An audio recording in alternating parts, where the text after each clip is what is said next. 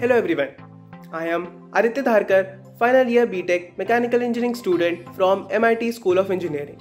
I and my teammates from Mechanical, Aerospace and Computer Science and Engineering have been working on a research project with Armament Research and Development Establishment DRDO Pune. The institute provided me with this golden opportunity in March 2020.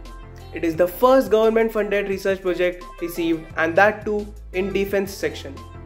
Working on this intense research project with some of the best scientists of India is a lifetime opportunity. Even in lockdown, all the faculty members from mechanical, aerospace, and computer science and engineering have supported in every aspect possible.